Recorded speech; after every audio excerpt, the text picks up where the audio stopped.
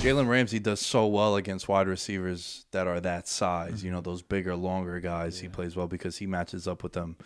And I think the one thing that I'm looking for in this game is how do the Rams continue momentum off that big win? Because this is a spot now with the Rams where I think this, you want to talk about a hot take. I think if they could beat the Cardinals this week, it might be just as impactful as them being beating the Bucs. And here's why: because you had all that momentum and expectations going into that Bucs game. It's Brady. We're in Hollywood, sold out stadium. The mm-hmm. stars are out. This is the Super Bowl champ. Mm-hmm. You beat them. Now you're everyone's number one team on the power rankings. Mm-hmm. Are you gonna not look past because it's in division, but is there gonna be a flat spot? Is it gonna be a letdown spot? I think this game is just as important for the Rams as it was last week. Especially when you look at this team is undefeated. Mm-hmm. You want to try to keep momentum and hold on to that top seed now because man, the way the LA stadium has been looking for them and sounding, it looks like LA football is a real thing over there, despite these teams not being there four years ago for the most part. Yeah, I agree with you on that. It, I just think also Arizona with their firepower. Like, the one thing you have to recognize Arizona is they have a. We talked about AJ Green before, but like of Rondale Moore and uh, Christian Kirk, like they have a, their weapons.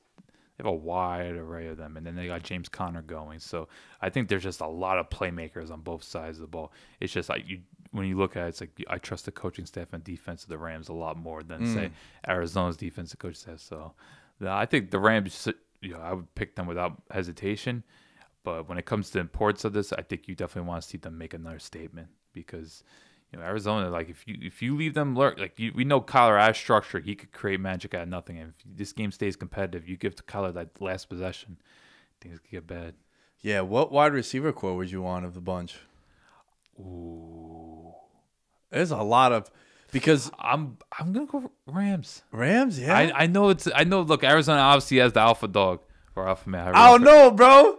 I love Cooper Kupp, but like, come on, nah, yeah, yeah. Let's not get Hopkins, it. Hopkins, Hopkins. But I, I like I think I like the Rams' skill set more. The the range between the the play the deep threat with Jackson, Woods being that scrappy possession here, Cooper Kupp being just the savvy route runner, and he seems like he do it all now.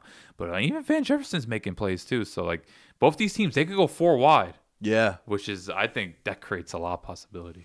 yeah. That's a good man. question though, and I think it, you can make a debate for both. Yeah, and look, I'm gonna keep I'm gonna keep mentioning his name because I guarantee you he's gonna catch like a 65 yard touchdown. You love It- him. uh, Atwell. That kid Oh, is- okay. I think you're gonna go Rondale Moore. Oh, Moore. I mean, we saw Moore Yeah, have a monster yeah, game uh, two weeks ago Against against Vikings, Minnesota. yeah.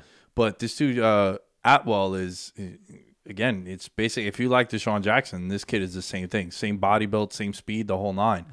And the last thing that I want to say here is, as someone who is financially invested to the Rams, the one big concern that I had, and I still do, is their depth is not as good, and it seems to have been the issue the last couple of years.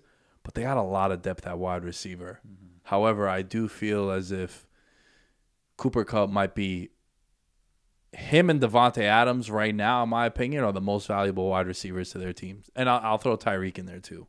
Yeah. And then I think there's a drop off because Buffalo's been getting by without that 160 yard game from Stefon Diggs. And maybe like Keenan Allen, you could throw in the mix too because he gets like 10 to 12 targets a game too. Just look at the way Mike Williams playing. But Mike Williams has emerged as a guy who, yo, I'm trying to get paid a contract year for, for me as well. You look, so, you look at the duels in Dallas and Tennessee and Seattle. but as far as like alphas, those guys are very, very important for their team success. But to wrap up on this game, I think I'm going to go with the Rams as Yeah, well. I want this momentum to keep going, keep balling out. And look, they're fun to watch too, man. Because, yo, the Rams were not fun for a little bit. Well, before Mc, I think for most part since McVay's gone there, they've been. But even if you think the last like two years, That's fair. Yeah. After they- after- 2019, they made the playoffs, and then last year was a bit of a grind. I think I think people just love their defense because obviously they're the best defense Right. league last year. But those last two years of golf, so you just realize, wow, this team is being really hindered by them. Yeah, because when McVay got there, he turned that whole franchise around. Mm-hmm. And then that one year when they went to the Super Bowl, it's like, yo, this dude went toe to toe with M- Mahomes, that shootout game, and they're putting up big numbers, Yeah, and all Brandin these guys. Cooks. Brandin Cooks also, yeah. So I'm going with the Rams. as well.